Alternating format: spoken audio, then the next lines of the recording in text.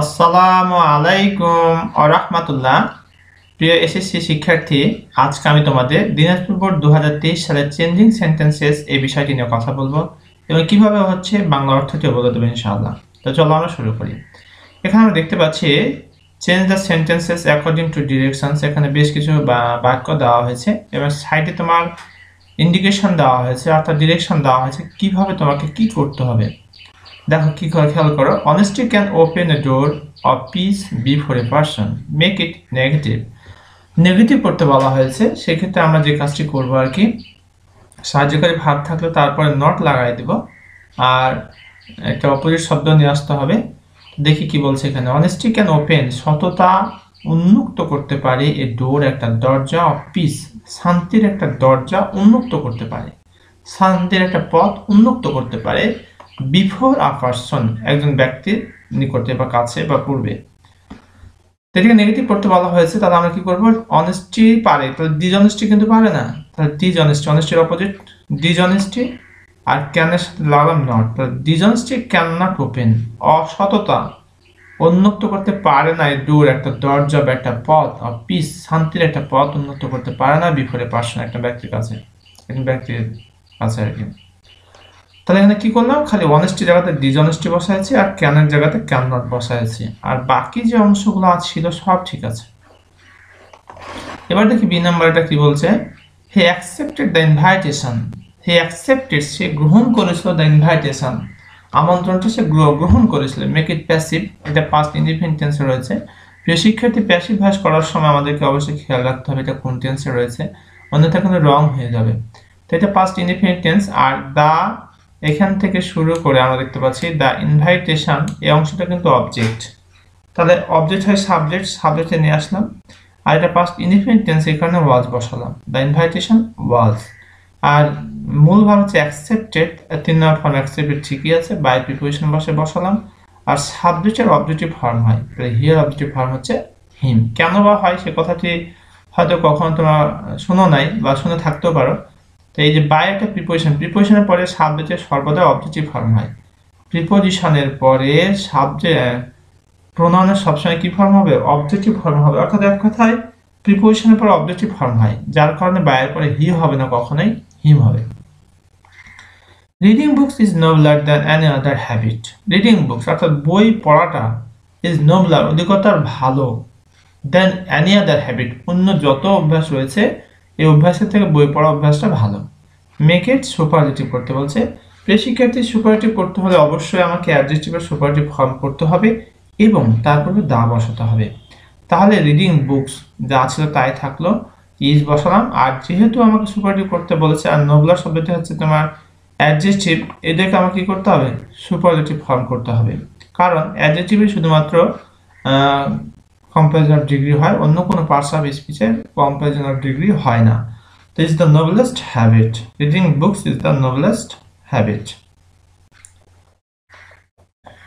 এরপর দেখো loving country is very is a very essential virtue loving country দেশকে ভালোবাসাটা is a very essential virtue এটা একটা ভালো গুণ, প্রয়োজনে ভালো গুণ। মেক ইট এক্সক্লামেটরি আমরা জানি যদি বাক্যে বা স্টেটমেন্টে এ বা আম থাকে, তাহলে হট দিয়ে শুরু হয়। এখানে হট আমরা বলি, কিন্তু আসলে উচ্চারণটা হচ্ছে ওয়াট তাহলে ওয়াট আর এই ভেরি বা গ্রেট উঠে যায়। তো ভেরিটা উঠাই দিলাম। এখন ইসেন্সিয়াল শব্দটি যখন আসছে, তার আগে দিকে এ না হয় অ্যান হয়ে যাবে। কারণ ভাওয়েল দিয়ে শুরু হয়েছে ই ই দিয়ে। তো what an essential virtue what an essential virtue loving country loving country is তাহলে আমরা দেখলাম একটা নিয়মটা হচ্ছে যদি স্টেটমেন্টে এ বা এম থাকে, তাহলে ওয়ার্ড দিয়ে শুরু করতে হবে আর ভেরি বা গ্রেডটাকে উঠাই দিতে হবে। তাই করা হয়েছে। What an essential virtue loving country is আরেকটি তোমার ভুল করে থাকলে, প্রায়শই দেখা যায়, সেটি হলো যে এক্সক্লামেশন মার্কসটা অনেক সময় বসাও না। এই ভুলটি যেন না হয়, এদিকে আমরা অবশ্যই খেয়াল রাখব। We don't measure our life by months years আমরা আমাদের জীবনটাকে মাপি না। বা মান্থ মাসের মাধ্যমে অথবা বছরের মাধ্যমে make it active active voice করতে বলা হয়েছে। তাহলে এক এখানে we don't measure our life আসলে এখানে অ্যাক্টিভ হবে না। We don't measure our life by month এটা অ্যাক্টিভ ভয়েস আছে, তাহলে এটা প্যাসিভ ভয়েস করতে হবে। এই জায়গাতে কি হবে? প্যাসিভ ভয়েস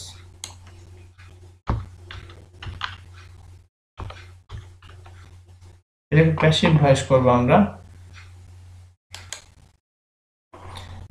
তাহলে প্যাসিভ ভয়েস করলে কি হবে? দেখো, এখানে ওই ডন্ট মেজার মেজারটা ভার্ব আর আর লাইফ এই অংশটা হচ্ছে অবজেক্ট তাহলে অবজেক্ট কি হবে? সাবজেক্ট হবে আর লাইফ আর এটা পের ইন্ডিপেন্ডেন্ট টেন্স হওয়ার কারণে যে কাজটি হবে our life is not measured not হলো কারণে এখানে নট ছিল এই কারণে। আর এটা পের independent tense our life is not measured মেজারটা হচ্ছে ভার্ব এখানে মেজার্ড হয়ে গেল আর এখানে ওইটা হচ্ছে সাবজেক্ট বাই আস হলো। ব্র্যাকেটে রেখে দিলাম। আর এই যে এক্সটেনশনটুকু যেটুকু ছিল বাই মান্থস এই যে অংশটুকু আর কি এটা যেভাবে ছিল এক্সটেনশন অতিরিক্ত অংশটুকু জাস্ট ওইভাবে বসায় দেওয়া হয়েছে। আর এই অংশটুকু আমরা ভয়েস চেঞ্জ করেছি। Our life is not measured by us by months R years okay industry is the most important thing for success industry অর্থাৎ পরিশ্রম is the most important thing অতি গুরুত্বপূর্ণ একটা জিনিস বা বিষয় ফর সাকসেস সফলতার জন্য।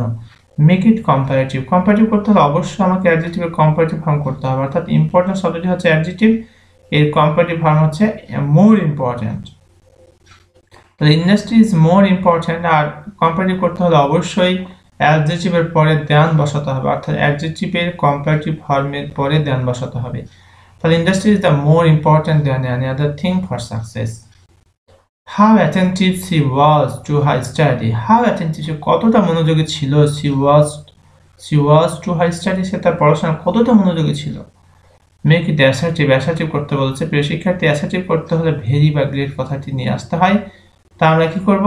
যে she was very attentive she was এই যে দেখো ভেরি কথাটা নিয়ে আসা হয়েছে। সি ওয়াজ ভেরি অ্যাটেন্টিভ আর বাকি যা ছিল তাই আছে to her study she was very attentive তাহলে কি করলাম? সি ওয়াজ বসার পর আমরা ভেরি কথাটা নিয়ে আসলাম, তারপরে অ্যাটেন্টিভ কারণ এখানে অ্যাডজেক্টিভ রয়েছে, আর অ্যাডজেক্টিভ আলাদা দিকে অ্যাডভার বসে তো she was very attentive to her study terrorism is one of the most corrosive problems of the modern world corrosive শব্দটার অর্থ হচ্ছে তোমার ক্ষয়কারক দ্রাবক বা ক্ষয়কারী। তাহলে terrorism is one of the most corrosive problems অর্থাৎ সন্ত্রাসবাদ হচ্ছে একটা অন্যতম কি ধরনের প্রবলেম ক্ষয়কারী সমস্যা, ধ্বংসাত্মক সমস্যা অফ দ্য মডার্ন ওয়ার্ল্ড আধুনিক বিশ্বে আর কি এটা একটা বড় ধরনের সমস্যা। তাহলে কি করতে বলছে? মেক ইট পজিটিভ পজিটিভ করতে হলে অবশ্যই অন অফ দ্য থাকলে অন অফ দ্য থাকলে এবং সেই বাক্যকে পজিটিভ করতে হলে অবশ্যই ভেরি ফিউ দিয়ে শুরু করতে হবে। তাহলে very few problems of the modern world কি করলাম? ভেরি ফিউ ভেরি ফিউ বসালাম। এই যে problems of the modern world পুরোটাই বসাই দিলাম। Very few problems of the modern world এখানে ঈদ ছিল, কিন্তু এখানে ভেরি ফিউ হওয়ার কারণে ভার্বটি প্লুরাল হয়ে যাবে। আর অ্যাজ অথবা সো যে কোনো একটা বসাতে পারো। করোসিভ অ্যাজ টেরোরিজম এরপর আই নাম্বারটা দেখি we should do good deeds আমাদের ভালো কাজ করা দরকার ডিড মানে কাজ অ্যাজ আ রেসপন্সিবিলিটি অর্থাৎ we should do good deeds as a responsibility আমাদের দায়িত্ব থাকার কারণে আমাদের ভালো কাজ করা দরকার মেক ইট ইম্পারেটিভ প্রিয় শিক্ষার্থী ফার্স্ট পার্সন সাবজেক্ট যদি ফার্স্ট পার্সন অথবা থার্ড পার্সন হয়, তাহলে অবশ্যই লেটের পরে সাবজেক্টের অবজেক্টিভ ফর্ম হবে।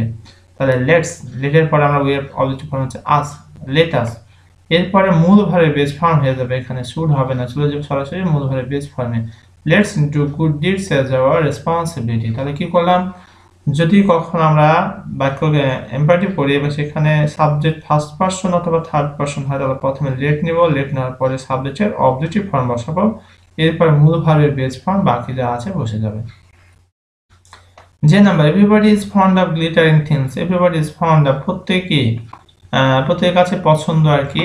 গ্লিটারি থিংস যেটা জল জল করে, উজ্জ্বল জিনিস, সেটা প্রত্যেকের কাছে পছন্দ। মেক ইট নেগেটিভ করতে বলা হয়েছে, না আবোধক করতে বলা হয়েছে। তাহলে দেয়ার ইজ নোবডি এমন কেউ নেই who is not fond of glittering things যে চক চক এইরকম জিনিস যেগুলো সেটাকে পছন্দ করে না, এমন কাউকে পাওয়া যাবে না। অথবা এটাও করতে পারি nobody is heedful of glittering things nobody is heedful কেউই কিন্তু কি নয় হেডফুল নয়। অফ গ্লিটারিং থিংস অর্থাৎ যেগুলো চক চক চক ঝকঝক করে, এই সমস্ত জিনিসের প্রতি কেউ কিনা হেডফুল নয়।